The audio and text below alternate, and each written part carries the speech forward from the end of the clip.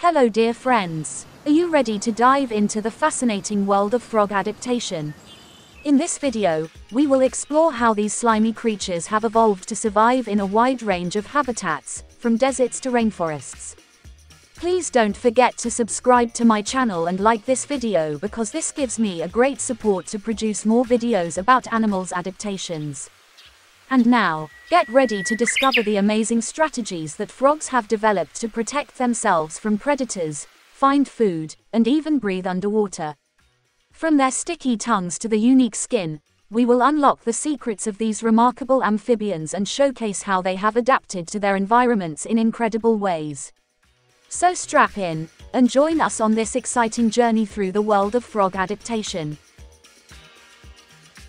Frogs. A frog is any member of the order Anura, which consists of a diverse and mostly carnivorous group of short-bodied, tailless amphibians. Frog morphology is unique among amphibians. Frogs are distinct from other amphibians, such as salamanders, in that they lack tails as adults and their legs are used for jumping rather than walking. What distinguishes a frog? Frogs have prominent eyes, no tail, and strong, webbed hind feet designed for leaping and swimming. They also have skin that is smooth and moist. Many are aquatic in nature, but some dwell on land, in burrows, or in trees. Frogs can be found in a wide range of habitats, including rainforests, mountains, and deserts. They are, nonetheless, sensitive to changes in their environment. The majority of common frogs reside in or near fresh water, Many require water to reproduce, however a little puddle can suffice. Frogs eat what? Adult frogs eat insects caught with their long, sticky tongues, as well as other invertebrates including snails, slugs, and worms. Skin that breathes. The frog's very permeable skin allows oxygen to pass through, as it does in all amphibians.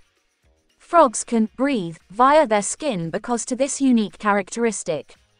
Because oxygen is dissolved in a watery coating on the skin and transported to the blood, the frog's skin must always be moist. As a result, frogs are endangered.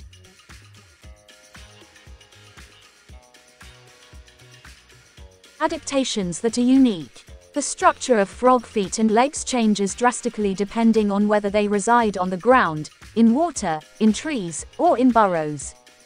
To catch prey and evade predators, Frogs must be able to move fast through their habitat.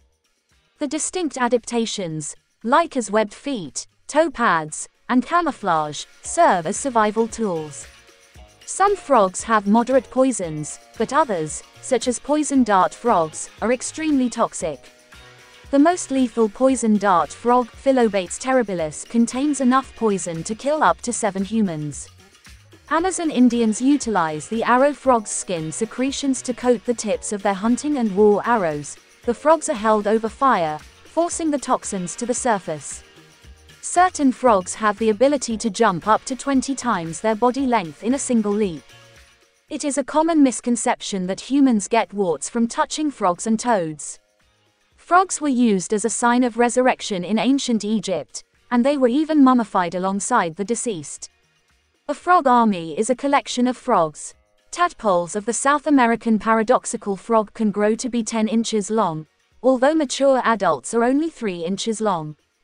They get smaller as they get older. The Goliath frog is the world's largest, weighing up to 7 pounds.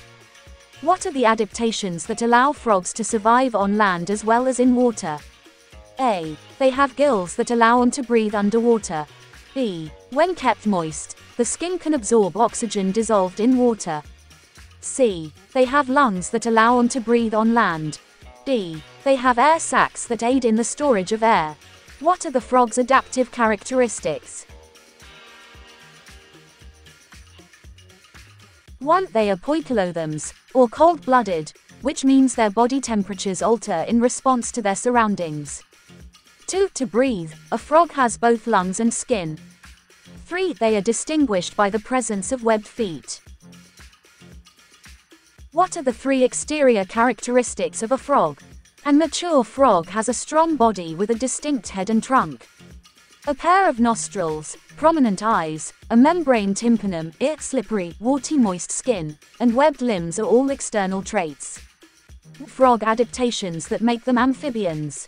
Frogs, as amphibians, have characteristics that allow them to exist both on land and in water. They are cold blooded, which means their body temperatures fluctuate in response to their surroundings. A frog breathes through its skin as well as its lungs. They have webbed feet that aid in swimming. What are the seven frog characteristics? Except as larvae, frogs lack a tail and have lengthy hind legs, extended ankle bones, webbed toes, no claws, huge eyes, and smooth or warty skin. What are the top 10 traits of a frog? 10 frog characteristics. Prominent eyes. A close up of a frog's eyes. They inhale through their skin. Frogs breathe via their skin, which is another distinguishing trait. Large mouth. Croaking frog. Long and strong legs. Camouflage. Possessing minor poisons. Skin is shed. At work at night. Is there a backbone in a frog? Fish. Amphibians, reptiles, birds, and mammals are the five primary groups of vertebrates. Because a frog is an amphibian, it has a backbone. Frogs do they have ears? The frog lacks an external ear like that of most other terrestrial animals. The ear canal is absent in the great majority of known species, and there is no pinna. What is the name of a frog's skin? The epidermis of frogs is made up of stratified squamous epithelium, with the stratum corneum made up of a very thin layer of keratinized cells. In majority of the frog species analyzed, cells in the epidermis of tadpoles are ciliated, and cilia retract before to metamorphosis. Frogs have how many hearts? Frogs' hearts are three-chambered, with two atriums and one ventricle. Blood from the bodily organs enters the ventricle via the right and left atriums and exits the heart via the ventricle. Frogs do they have knees? Frog legs offer a significant surprise. They have rudimentary kneecaps, contrary to textbook biology. The kneecaps, which are formed of dense, fibrous cartilage rather than bone, appear to be far better suited to absorbing the strains of leaping and jumping than the bony human patella. Frogs have no arms nor legs. The frog's shoulders and front legs are comparable to human shoulders and arms. The radio ulna is the frog's forearm bone. The radius and ulna are the two forearm bones in humans. The humerus is the upper arm bone in both frogs and humans. What is the significance of frogs? Every year, frogs consume billions of insects, making them economically beneficial to farmers. They are also an important food source for birds, fish, snakes, and other species. The most essential contribution frogs may offer is as environmental indicators. Thank you for watching my video please don't forget to subscribe to my channel and like to this video.